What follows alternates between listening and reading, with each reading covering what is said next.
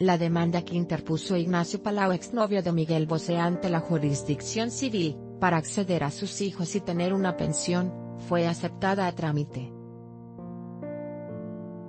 El despacho Ortola Dinvier, que representa a Palau, dio a conocer hoy, a través de un comunicado, que en la querella se pide relación con los dos menores que viven en México, Diego y Tadeo. Pide acción acumulada para el establecimiento de medidas paternofiliales de hijos no matrimoniales, acción subsidiaria para el reconocimiento y fijación de un derecho de relación de allegados, y solicita medidas cautelares para el establecimiento urgente de visitas y alimentos. La demanda fue interpuesta el pasado 17 de octubre, luego de que la relación del artista plástico, y el intérprete de Amante Bandido llegara a su fin, luego del 26 años. Allegados al escultor han contado que él dependía económicamente del cantante pop, y que la relación estaba rota desde hacía dos años pero que Palau viajó a Panamá cuando Vos se decidió mudarse con el objetivo de mantener a la familia unida.